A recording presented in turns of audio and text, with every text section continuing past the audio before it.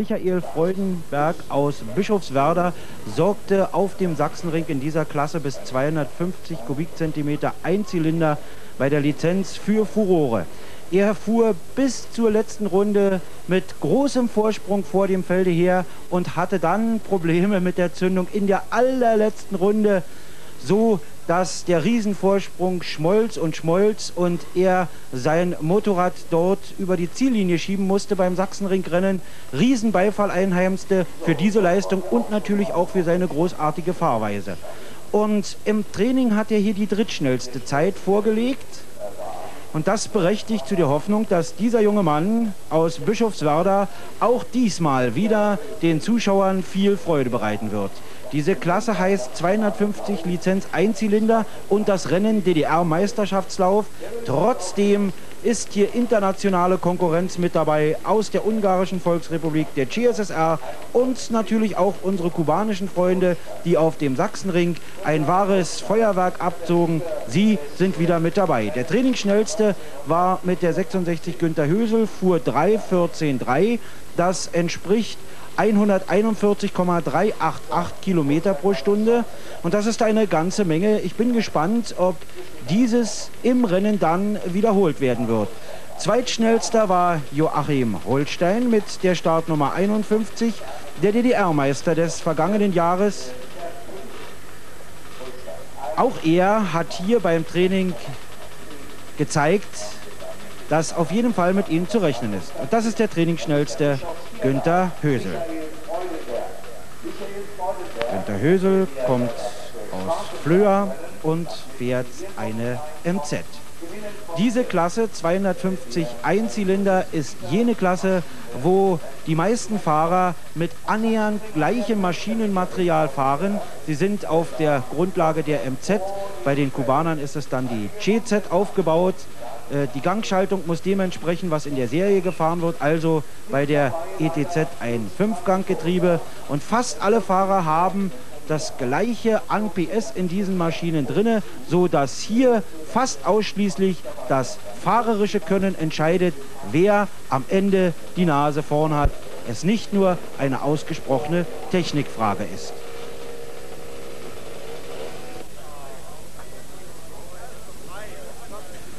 Und da auch die äußeren Bedingungen prächtig sind, Sonnenschein, leichter Wind, aber Temperaturen gerade mal so um die 20 Grad, ist guter, ja sehr guter Motorsport zu erwarten.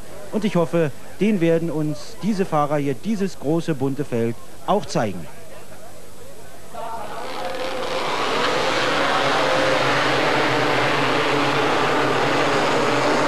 Ganz wesentliche Phase des Rennens, der Start. Wer da erst einmal stehen bleibt, hat kaum noch eine Chance, sich bis in die Spitze vorzuarbeiten. Der Start ist im Motorsport die halbe Miete.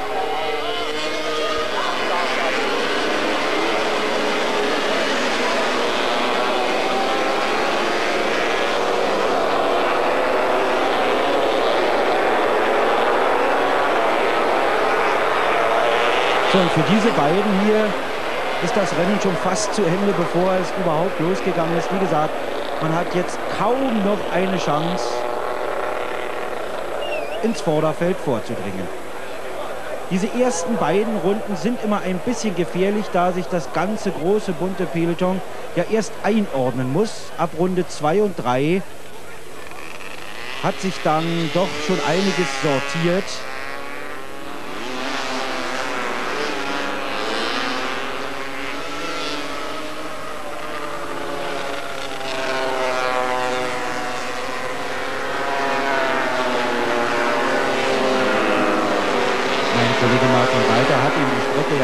Vorgestellt.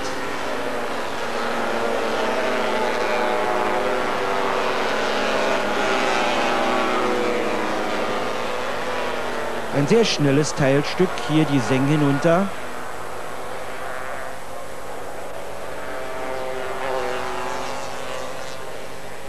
Naja, und so gute 45 muntere Pferdestärken haben diese Einzylinder 250er auch. Und da können Sie sich vorstellen, dass es hier ganz schön zügig hinuntergeht. Aus dieser Klasse, die anfangs ein bisschen belächelt wurde, ist ein Knüller geworden. Weil insgesamt die Leistung beträchtlich angestiegen ist, aber weil es auch immer spannende Positionskämpfe gibt, da ja fast alle das gleiche Maschinenmaterial haben. Ich deutete das bereits an.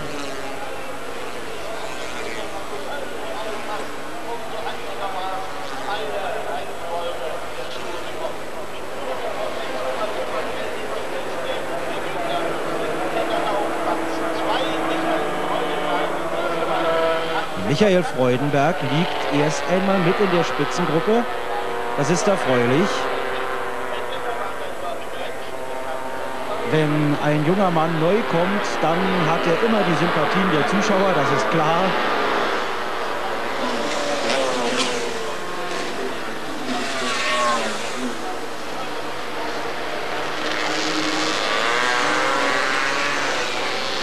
Und Sie merken schon, liebe Motorsportfreunde, so ganz allmählich ordnet sich doch das Feld ein und es bildet sich eine kleine Spitzengruppe.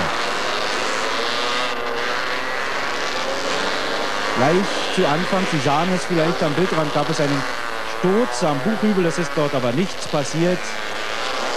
Die Sicherheitsbestimmungen und Maßnahmen gerade hier am Schleizer Dreieck sind ja sehr gut.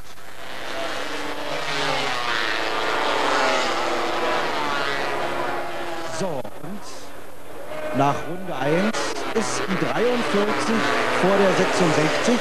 Ist der Michael Freudenberg tatsächlich wieder Erster vor dem trainingsschnellsten Günter Hösel? Also ich kann mir vorstellen, dass wenn es so weitergeht, bei dem jungen Mann aus Bischofswerda, diesem fröhlichen, unbeschwerten jungen Mann, dass er hier zum Publikumsliebling am heutigen Sonnabend avancieren könnte.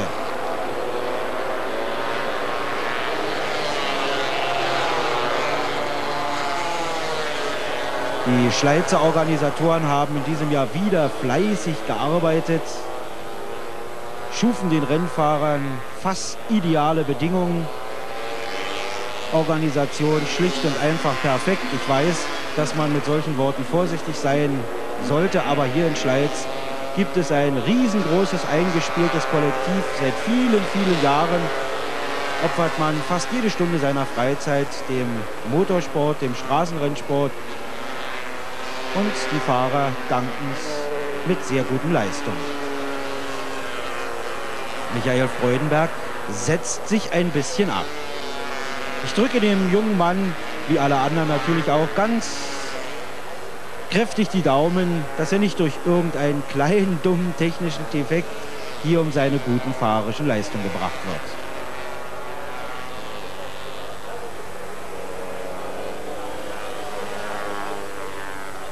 So sah es auf dem Sachsenring auch schon aus.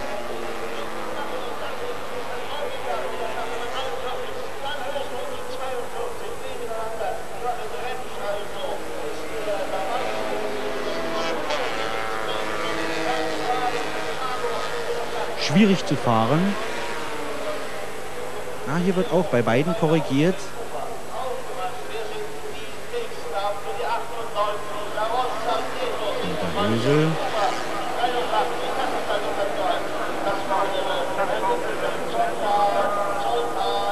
Uwe Marx aus Hohenstein-Ernsthal muss das Rennen schon aufgeben.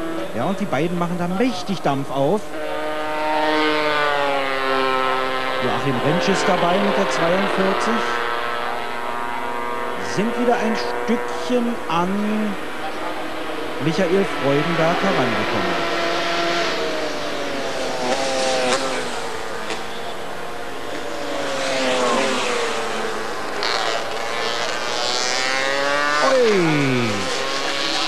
Tja, da hat er sich leider ein bisschen versteuert, fuhr auf die andere Maschine auf. Kleiner Rutscher, nichts passiert. Schnell die Maschine von der Bahn, damit die Nachfolgenden nicht behindert werden.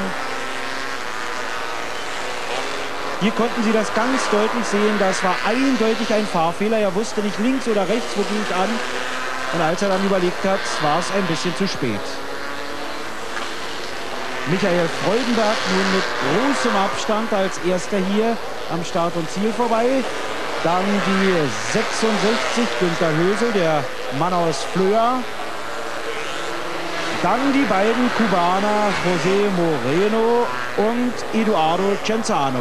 Und wenn Sie unsere Übertragung vom Sachsenring miterlebt haben, dann wissen Sie noch, dass diese beiden kubanischen Fahrer ja dort dem Rennen eindeutig ihren Stempel aufgedrückt haben. Ganz hervorragend fuhren. Alle Experten eigentlich darauf schwörten, dass sie mit den luftgekühlten GZ-Motoren gar nicht so weit landen könnten bei der Riesenhitze auf dem Sachsenring. Aber sie hatten das richtige Gefühl am Gasdrehgriff und haben den wassergekühlten MZ-Maschinchen doch den Auspuff gezeigt. Michael Freudenberg und Günter Höse. Unsere grafische Darstellung zeigt Ihnen, wo sich die Fahrer derzeit befinden.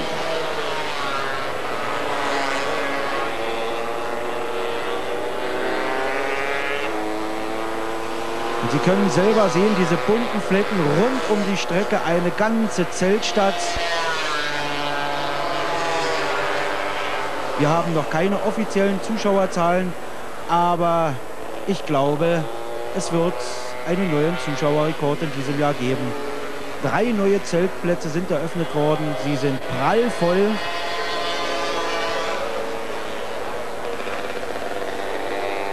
Schleiz erweist sich 1985 auch wieder als der Magnet im Straßenrennsport unseres Landes.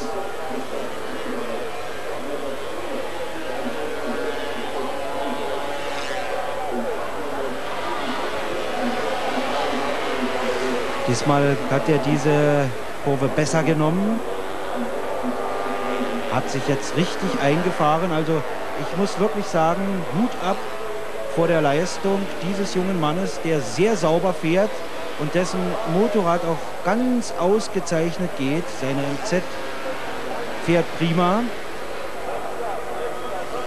Wie er das gemacht hat, dass er so schnell ist, schon in diesen ersten Runden. Alle Achtung.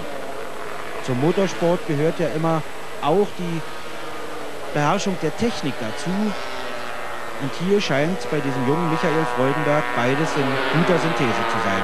Die 99 José Moreno nun an dritter Position. Vierter Eduardo Cenzano.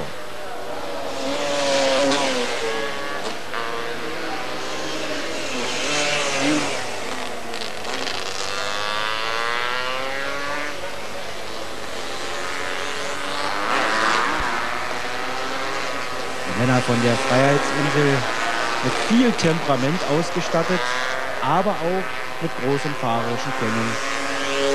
Das bewiesen sie auf dem Sachsenring und zeigen sie auch jetzt.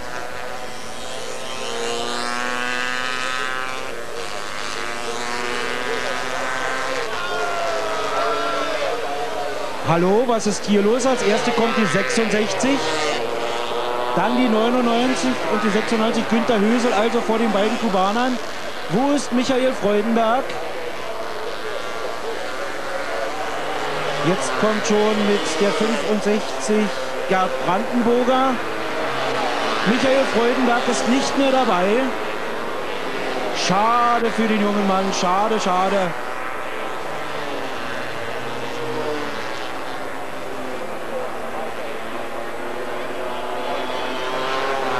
Das ist wirklich schade. Er schiebt sein Motorrad offensichtlich wieder ein technischer Defekt. So ist das. Er hat sicherlich vom Sachsenring bis jetzt gebaut, gebaut, fleißig mit seinen Helfern. Ja, und dann macht das Motorrad schon in der dritten Runde nicht mehr mit. Schade, aber das ist eben Motorsport. Auf Platz 4 mittlerweile mit der 56 Knut, Weilitz, Knut Weilitzke aus Oelsnitz. Dahinter dann Andreas Weiske aus Karl-Marxstadt. Auf den folgenden Plätzen Horst Schmitz aus Sonneberg,